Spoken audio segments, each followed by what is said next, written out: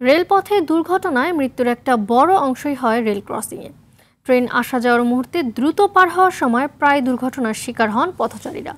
এজন্য গেটম্যানদের অবহেলা ও অসতর্কতা অসতর্কতা ছাড়াও দায় রয়েছে পথচারীদেরও। এক্ষেত্রে সচেতনতার পাশাপাশি আইনের প্রয়োগে জোর দিতে বলেছেন বিশেষজ্ঞরা।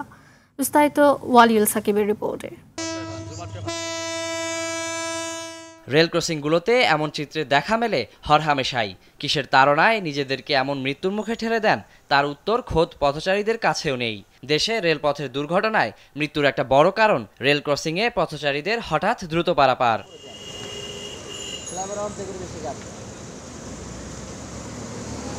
গেটম্যানদের অবহেলা ও অসতর্কতাতেও রেল ক্রসিংয়ে প্রায় ঘটছে দুর্ঘটনা। তবে এসব দুর্ঘটনা আর মৃত্যুর দায় বেপরোয়া পথচারীদেরই বেশি। কেউ কেউ অকপটে নিজেদের দোষ স্বীকার করলেও দায় এড়ান বেশিরভাগ পথচারী। আমরা যদি রেল লাইন দিয়ে হাঁটি আর এই মতো অবস্থায় যদি কোনো অ্যাক্সিডেন্ট হয় দায়বদ্ধতা সমস্ত কিছু আমারই। সম্পূর্ণ আমার দায়বদ্ধতা। আমরা যে রেল লাইন দিয়ে হেঁটে যাচ্ছি সেটাও আমাদের জন্য খুবই রিক্সি এই আমি মনে করতেছি যে ট্রেন আসার পূর্বে যদি এক থেকে দেড় কিলোমিটার পূর্বে যদি কোনো ধরনের সিগন্যাল যদি বোঝা যেত জনসাধারণ তাহলে সেই হিসাবে তারা সচেতন হতে হবে আছে। আমরা গেটটা ফালাই দিচ্ছি তারপর কিন্তু তারা মা- গাড়ির মাথা ঢুকাই দেয়। ঢুকাই দিয়ে আগে যাচ্ছে আমাদের কাজ তো আমরা করি।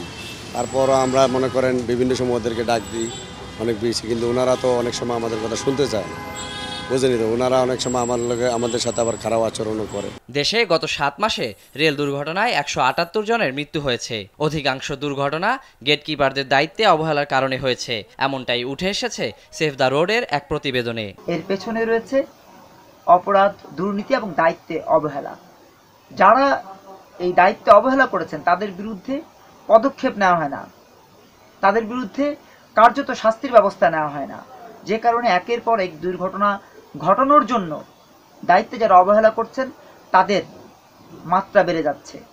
আমরা আশা করব অনতিবিলম্বে রেলওয়ে কর্তৃপক্ষ, মন্ত্রী, সচিব, সংশ্লিষ্ট সকলেই পদক্ষেপ গ্রহণ করবেন এবং যাত্রী যারা রয়েছেন, পথচারী যারা রয়েছেন, তাদেরকে আমরা সচেতনতার সাথে পথ চলার বিনীত আহ্বান জানাচ্ছি। রেল ক্রসিংয়ে দুর্ঘটনার মূল কারণ গেটম্যানদের অদক্ষতা ও প্রশিক্ষণের অভাব। এমনটা জানিয়ে পথচারীদের সতর্কতার পাশাপাশি আইনের প্রয়োগের বিকল্প নেই বলে মন্তব্য করেন এই বিশেষজ্ঞ। যারা তদারকিতে দায়িত্বে যারা আছে যারা মনিটরিং করছে তাদের কিন্তু দায়িত্ব নিতে হবে।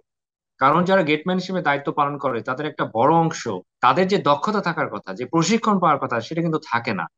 ফলে যেটি হয় যে এই যে আহ, আপনার আহ, যখন ট্রেনটি আসছে গেটটি নামানোর যে বিষয়টি বা যারা যারা যানবাহন নিয়ে পারাপার হচ্ছে তাদেরকে যে নিয়ন্ত্রণ করা অনেক সময় তারা ব্যর্থ হচ্ছে।